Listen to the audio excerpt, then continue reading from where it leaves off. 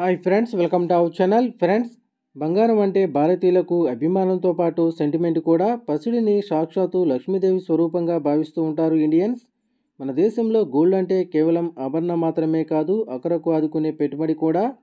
చేతిలో రూపాయి లేకున్నా బంగారం ఉంటే చాలు సమస్యల నుంచి బయటపడవచ్చు. అందుకే సందర్భం దొరికిన ప్రతిసారి మన వాళ్ళు పసిడిని కొనుగోలు చేస్తూ ఉంటారు. ఇక ఈరోజు బులియన్ మార్కెట్లో గోల్డ్ మరియు సిల్వర్ రేట్లు ఏ విధంగా ఉన్నాయో తెలుసుకుందాం. అందుకని ముందుగా మా నుంచి మీకు ఒక రిక్వెస్ట్ మా వీడియోని లైక్ చేయకపోతే లైక్ చేయండి.